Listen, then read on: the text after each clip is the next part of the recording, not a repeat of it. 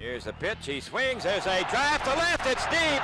It is way back, and it is gone. A two-run homer by Trammell. A 2 nothing lead for the Tigers in the first inning.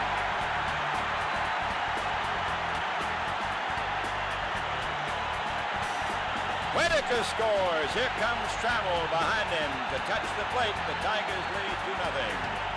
Shaw ready, kicks and deals. Here's a swing, and there's another drive to left. It's deep, and this one is gone. The second home run by Trammell. And the Tigers now lead it 4 to 1. Whitaker scores. Here comes Trammell running home his second consecutive home run.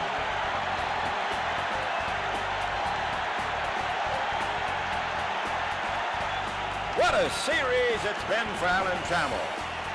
They're standing here. They want Trammell to come out and take a curtain call. There he is. Left center for Tram. Ground ball right side. Runs through for a base hit.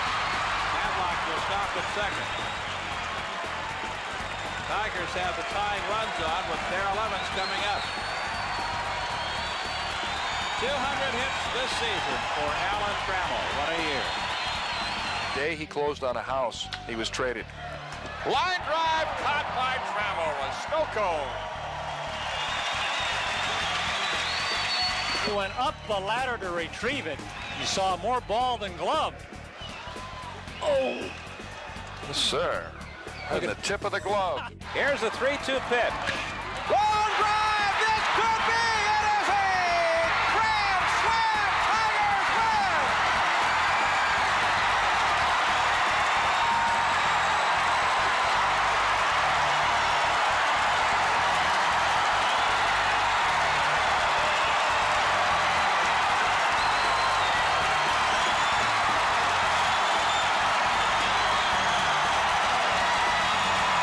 Three-two, and he centers it right down the middle. And Alan Trammell watch his head come right on over that ball and just take those hands through the ball.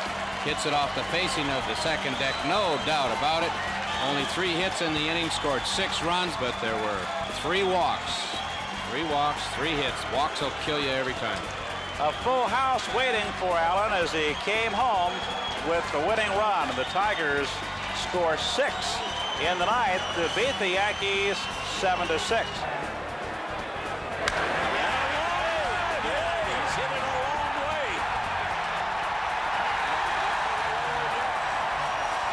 A home run for Trammell.